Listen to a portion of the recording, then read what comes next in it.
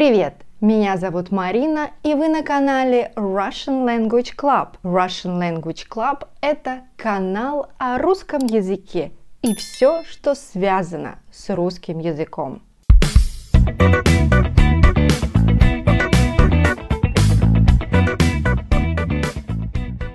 Русский язык логичный, ну почти как математика.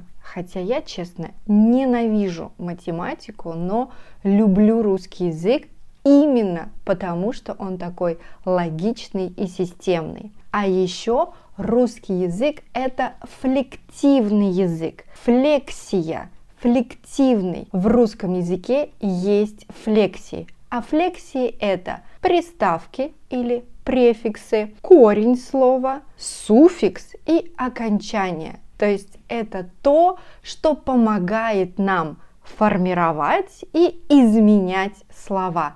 Это и есть флексии, и русский язык флективный.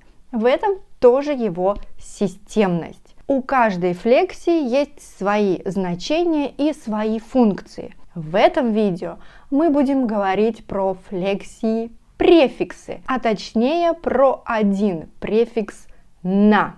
Кстати, на канале уже есть несколько видео про русские префиксы. Смотрите вот здесь. Итак, префикс на. Я уверена, что вы слышали такие слова, как наиграться, наехать, наболтать, накрасить, напиться, наесться, наступить, наскучить, найти и многие-многие другие. Да, в русском языке много слов с префиксом на. Давайте вместе разберемся, что же означает префикс на. На – это направление действия на поверхность предмета. Наехать, находить, наткнуться, набросить, налететь. Примеры. Волны набегали на берег и убегали назад. Извини, я наткнулась на твой дневник случайно. Или накинь свитер, на улице уже прохладно.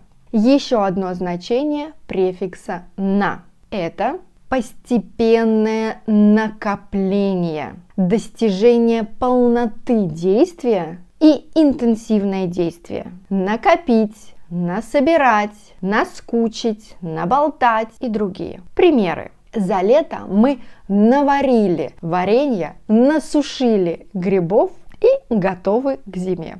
Бабушка нажарила пирожков к приезду внуков. Нужно накопить деньги, чтобы переехать за границу. Еще одно значение префикса «на» – полнота, исчерпанность действия и удовлетворенность этим действием. Например, насладиться, надышаться, насмотреться, напиться, наесться и другие. Я прекрасно провела время, надышалась свежим воздухом, накупалась в море и наелась фруктов. В празднике у тебя будет время наесться и напиться до отвала. Еще одно значение префикса «на» – беглое, но не полное совершение действия. Напеть, набросать, наиграть. Прежде чем приступить к проекту, давай набросаем небольшой план. Напой мелодию, я постараюсь вспомнить слова песни. И еще одно значение префикса «на» – непрерывное длительное совершение действия названивать, написывать, наговаривать. Примеры. Зачем ты названиваешь мне каждый день? Зачем? Ну, что ты опять наговорил про меня боссу? Еще префикс «на» есть в наречиях, которые указывают на время, направление и образ действия. Такие наречия как наверх – направление, на завтра – время, на прокат – образ действия. Или есть еще наречие со значением высшей меры, предельной степени какого-либо признака. Накрепко. Это были основные значения префикса «на» в русском языке. Обратите внимание, что префикс «на» мы добавляем не только к глаголам, то есть словам «что делать», «что сделать», но и можем добавлять к существительным, наречиям, прилагательным и так далее. А в конце я вам дам несколько интересных слов с префиксом «на». Насолить – сделать что-то неприятное кому-либо. Его не любят в городе, он уже многим насолил.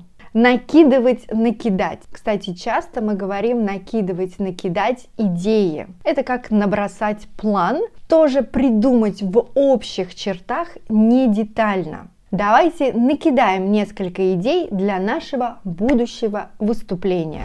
А на этом все. Подписывайтесь на канал Russian Language Club, так вы не пропустите другие интересные видео о русском языке. А еще давайте общаться в социальных сетях. Вот и все. Пока-пока. До скорой встречи!